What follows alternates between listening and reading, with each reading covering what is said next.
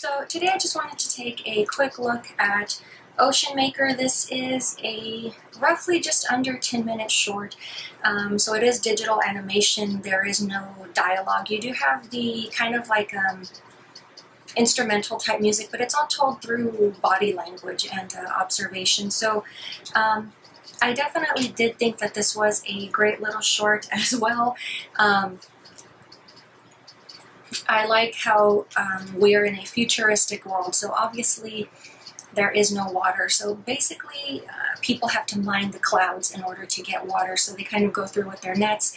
Obviously, you have to deal with sky pirates, but um, obviously they managed to get the job done, um, and they cascade the water down. So it, it kind of um, mimics rainfall. So what I really like here, and I think the film is just more of a metaphor here, is the fact that in that ending sequence you have a child who is standing outside.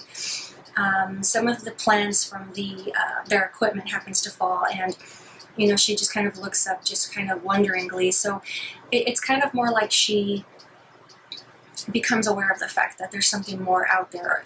It gives the impression that she took the rainfall for granted. Like she just assumed that it was a natural occurrence, not something that somebody would go out of their way to uh, collect and create. So uh, that is why I say very much in, in my mindset. It, it, feels more like it's a metaphor for uh, just those simple or everyday things, those natural occurrences that we just all take for granted. You know, we don't really stop to think if somebody actually is out there working for the greater good or for some higher purpose and we just take for granted that we have these daily things and we just accept it as a given and we don't you know take the time to appreciate or give it any thought beyond that.